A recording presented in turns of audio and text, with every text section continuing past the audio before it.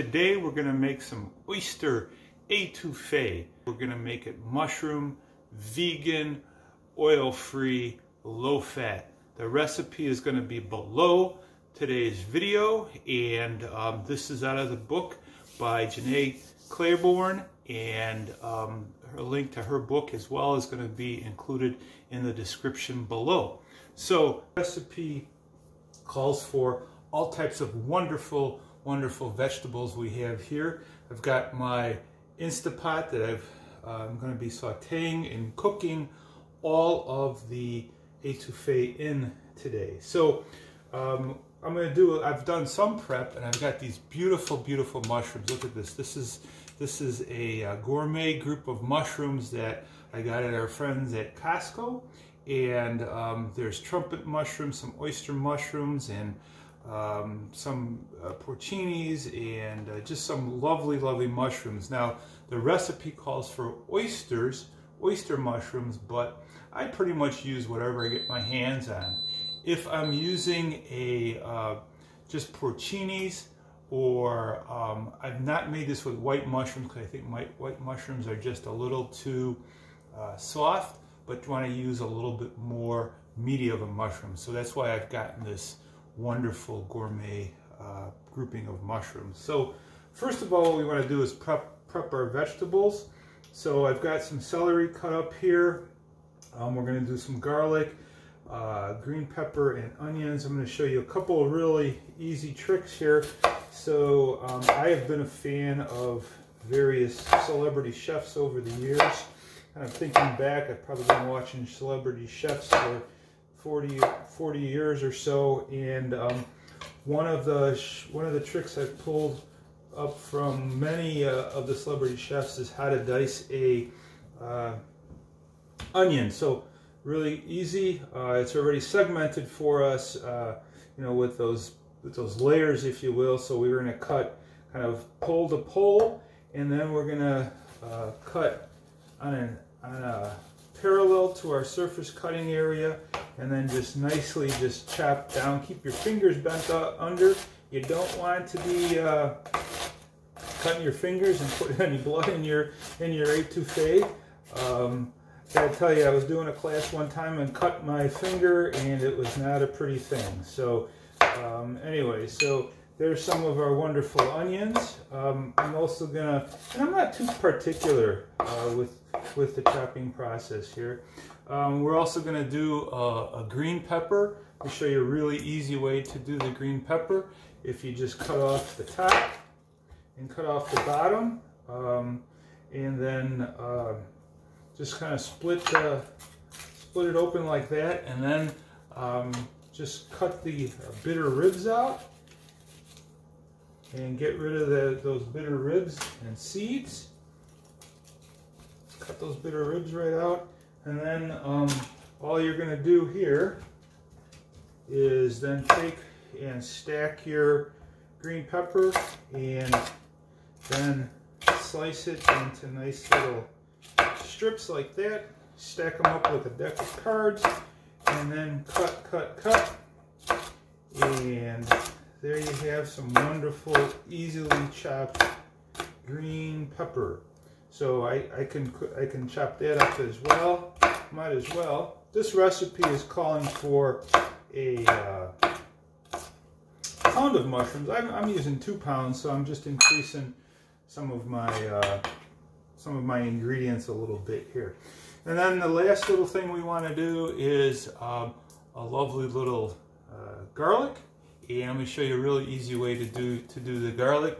What you do is you take your uh, whole garlic tip and then press down on it. And uh, that's going to kind of begin to open up some of the uh, some of the flowers, uh, the little cloves, I should say. And we're going to take, I'm going to take three cloves for this recipe. And um, we don't want any of that in there.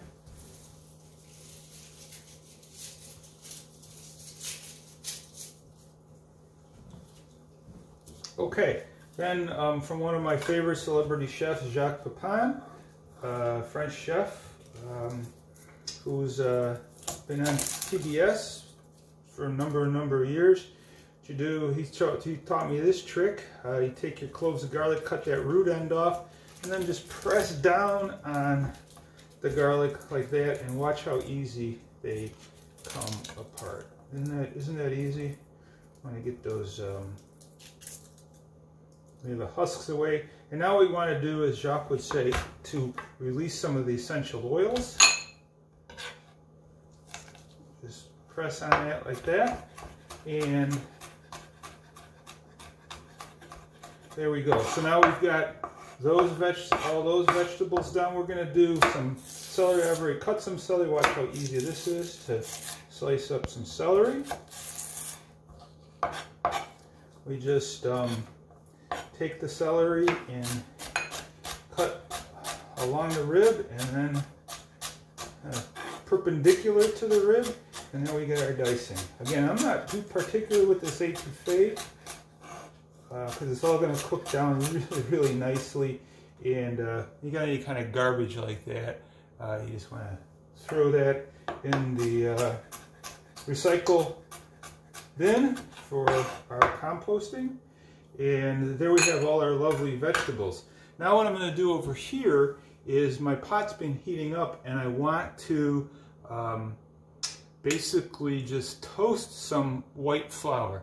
Um, it's about the only time I'm going to use white flour in a recipe, but that's kind of uh, what will thicken up our, our gravy, our etouffee, if you will. So I'm just going to put my white flour, the, the, pan, the pan is really nice and warm. And um, what I'm going to do is just move this around for um, a little bit. And I want this to start toasting. It's going to start turning brown a little bit. Let's just kind of watch this here.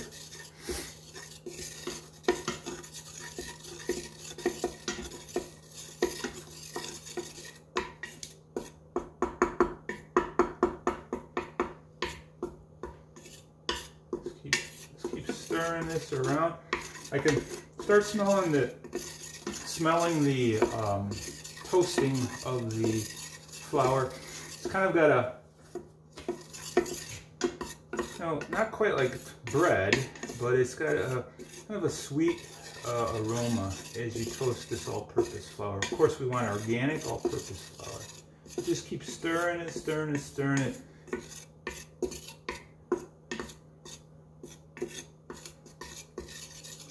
see it's kind of start turning a little a little brown here. And the more you toast your flour um, the deeper and the richer the flavor of your etouffee is going to be as well. So I'm just going to keep moving this around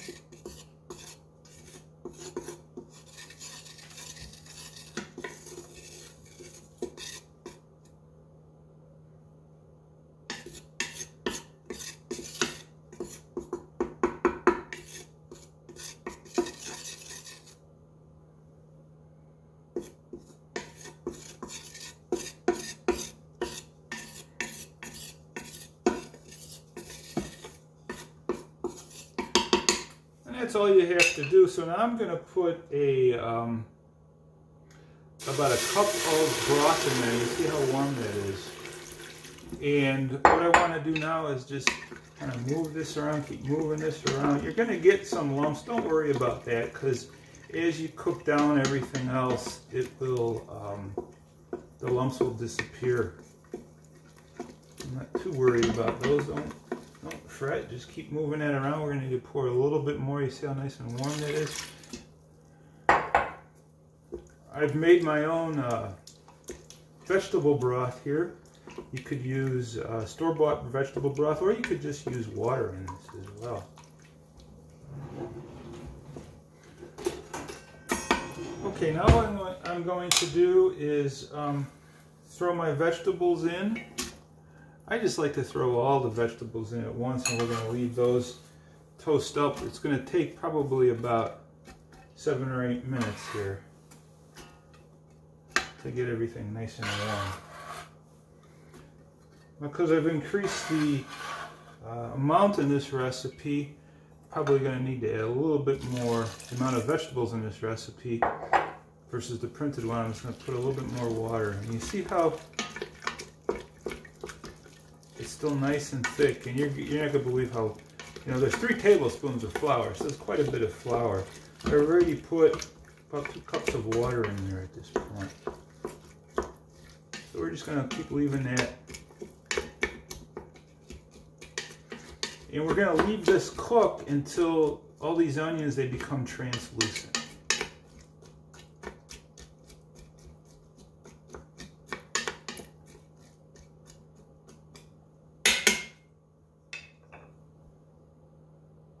Okay, our onions are beginning to get translucent. This was a few minutes. It's uh, it was going to take about 10 because uh, quite honestly, this is the first time I'm making it in this uh, in this crock pot. My heat's a little higher when I do it on the stove, but for photographing purposes, video purposing, um, I wanted to do it in my crock pot or my uh, Instapot, I should say. So you see the way the onions are starting to get translucent.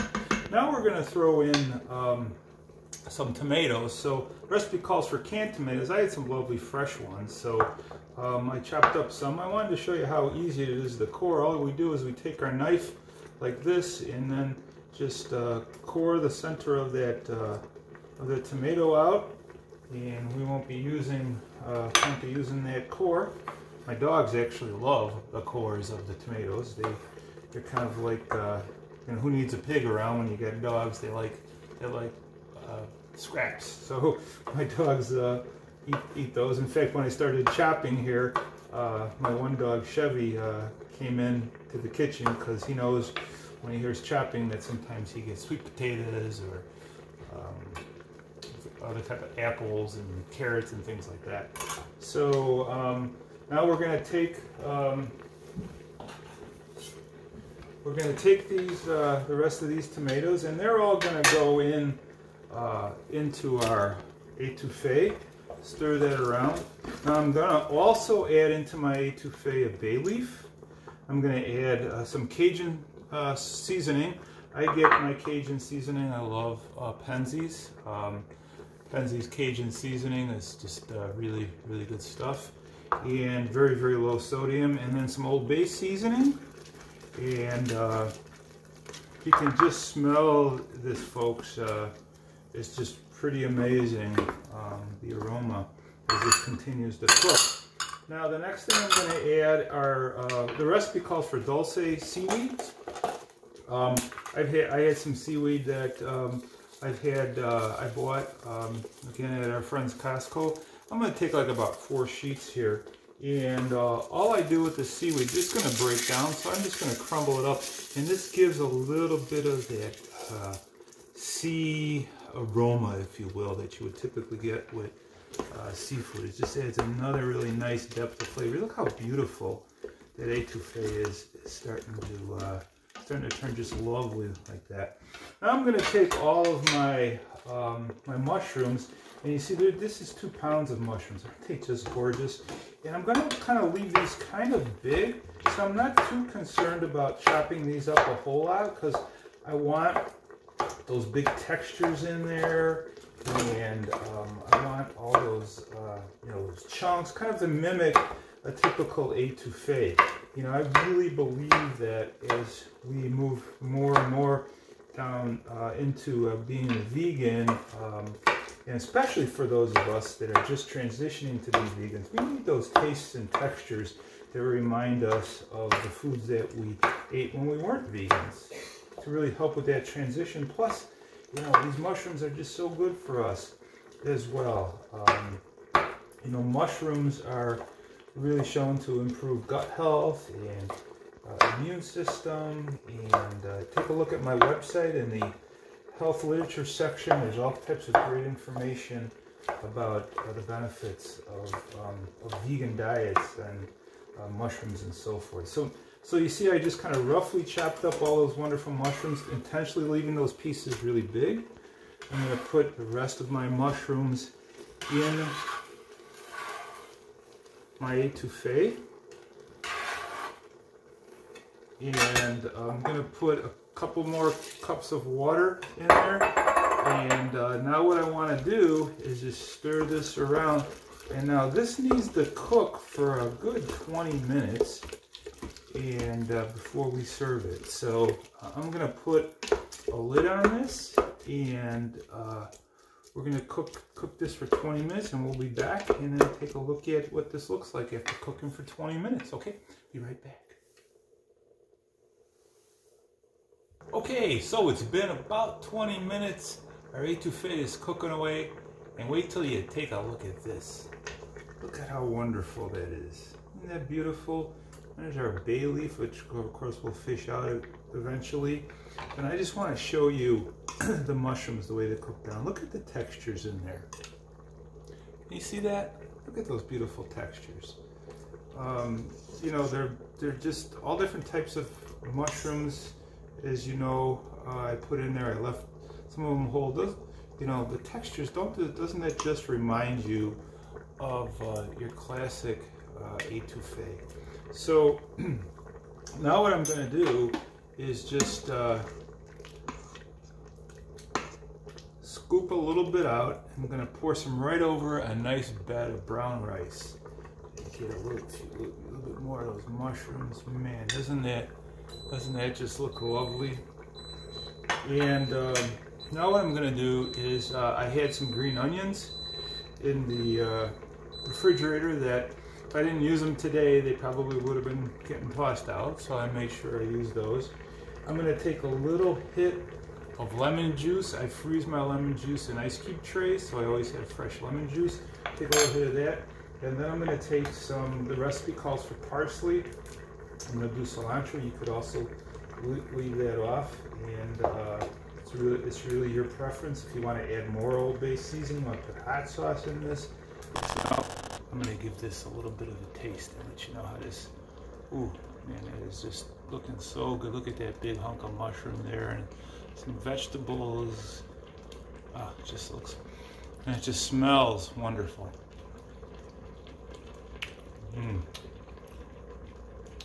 Remember, there's no oil, just vegetable broth and flour Mm, you just get all these lovely textures. And just made this lovely broth. Look at this broth. Watch that. Watch that. Look at that beautiful broth. Isn't that wonderful? So folks, there you have it. Mushroom etouffee. Again, the recipe's below. Enjoy. Let me know if you've made it. Take care. Mark Cerkvenik, let's eat great.com. Thanks folks. Take care.